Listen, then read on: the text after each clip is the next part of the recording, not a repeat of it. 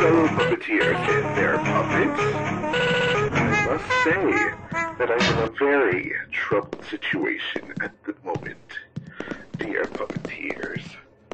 You see, I happen to be hunting down two individuals. They came in here to purify the world.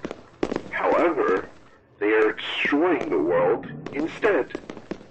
Would you puppeteers be so kind as to stop them before they devastate other worlds? It would be very appreciated. I cannot interfere, however, for I am just speaking from your radio telegraphic devices.